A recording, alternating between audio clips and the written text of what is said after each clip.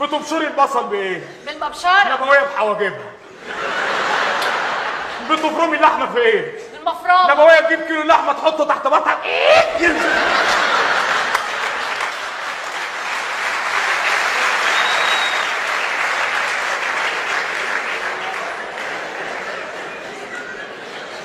قالت لي فسح لا من حقها تفسح وديتها جنينة الحيوانات. حلو.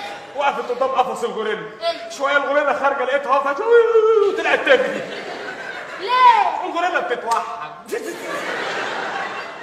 يمكن فكرتك متجوز السيد قشطه ولا حاجة اصحب والله اصحب ليه يكفيكي شر واحد متجوز واحدة عندهم تسع عيال تسعه افتح الدولاب الاقي عيال انام على السرير الاقي عيال اول امبارح جيت البس الجزمه لقيت علي نايم على الفرشه جوه عيل جوه الجزمه يا وليا بتولد في أي حتة وفي أي مكان. إزاي؟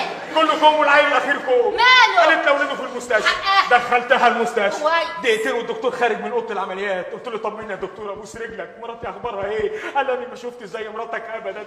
أنا دخلت عشان أولدها لقيت الولد بيقول لي اوعى إيدك. أنا عارف السكة لوحدك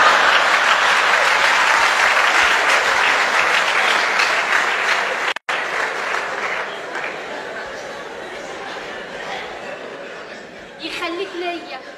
نفسي أخلف تسعة زي نبويه والله العظيم يا بدرية لو فكرت تجيبي تسع عيال أنا هتجوز عليك يعني هتجوز عليك.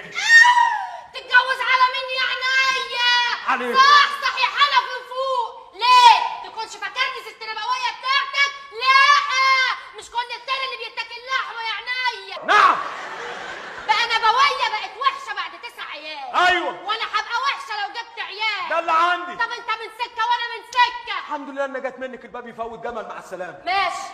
ماشي يا حنفي. تاخدني لحم وترميني عظم يا حنفي؟ لحم مين يا كدابه يا بنت الكدابين ما تبصي نفسك في المراية. الحسن اللحمه باظت منك قوي ملحمة أنت يا بنت. أنت ناسية الخطبه لما جابت لي صورتك اتفرجت على الصورة بتاعتك فين؟ فين يا حنفي؟ خدت الصورة وديتها عند دكتور الأشعة دكتور الاشعه يا حنفي قلت له أبوس إيدك وريني أي حتة لحمة في الصورة دي. آه. شال الصورة وحطها على الجهاز ونور من وراها. شفت القفص الصدري والعمود الفقري ماشي يا حنفي ماشي. أنا داخله أرضع الولا جوه. راح فين؟ أرضع الولا يا حنفي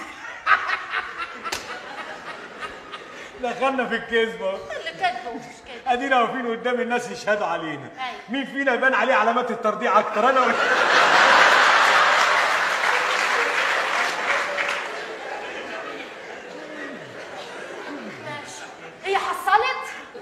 بقول لك قسما عظما يا. بدرية إما مشيتي على العجين ما تلخبطوش أيوة. لا هروحك بيت أبوك لا يا حبيبي روح وأنت مخلوق. لا، لا، لا. هتتخلف لا يا حنفي